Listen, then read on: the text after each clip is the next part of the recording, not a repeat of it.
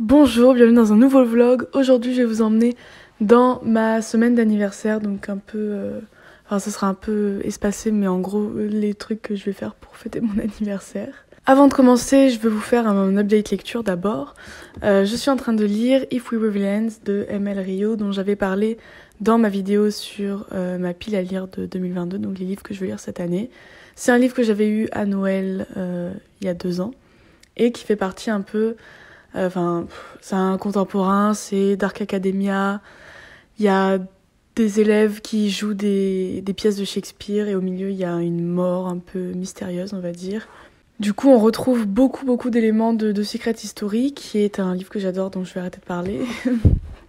on retrouve beaucoup d'éléments de ce livre-là, même dans la configuration du groupe d'amis et dans les différents types de personnages qui, qui peuplent ce livre en fait. Mais voilà, c'est ça que je suis en train de lire. Je vous en parlerai si je le finis avant la fin du vlog, ce qui ne sera probablement pas le cas, mais peut-être que je reviendrai à la fin pour en parler. Et je ferai sûrement un point lecture dessus parce que j'ai plusieurs choses à dire sur la structure, sur euh, les, personnages, l'évolution des personnages, les jeux entre réalité et fiction qui sont hyper intéressants, même si c'est pas euh, le livre le mieux écrit du monde ou le plus subtil euh, dans là-dedans. Mais en tout cas, j'aime beaucoup et donc je suis en train de lire ça. Je vous retrouve plus tard. J'espère que la vidéo va vous plaire. Bisous.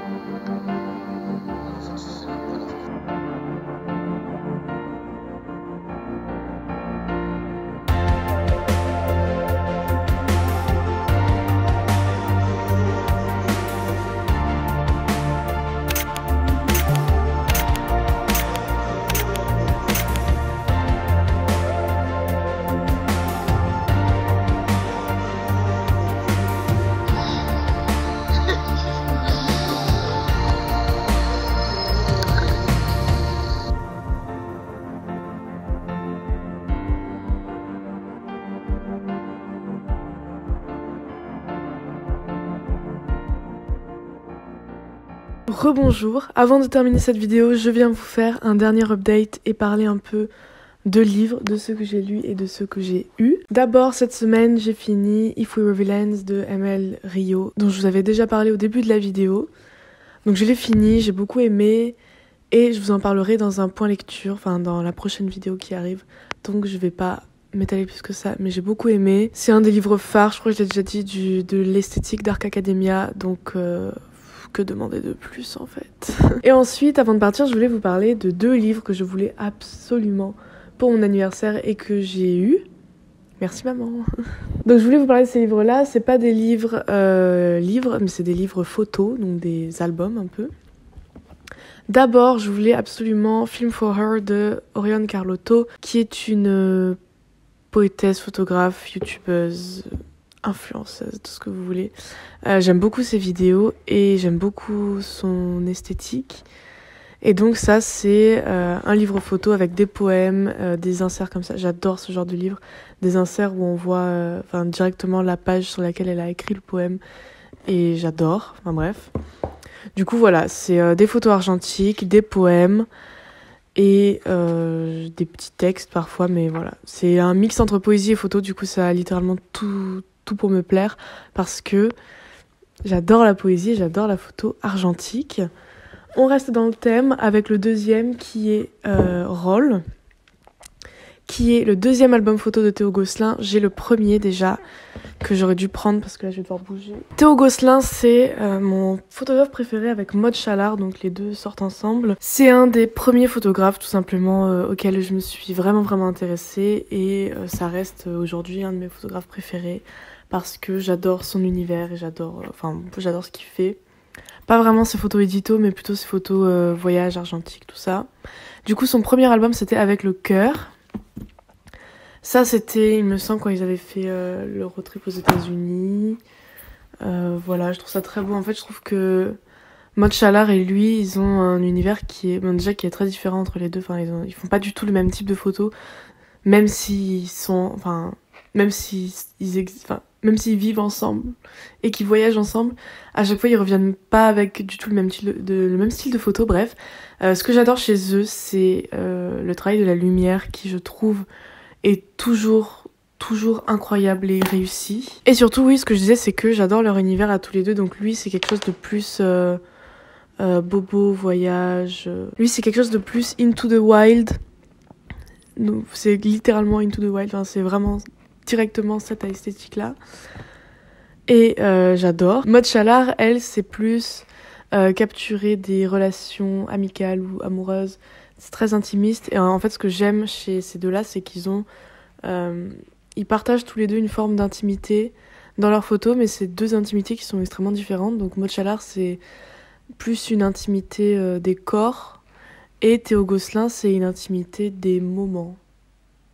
Voilà. Bref en fait, je suis, je sais pas si Maud a publié des livres photos ou pas. Je devrais peut-être m'y intéresser, mais bon, bref.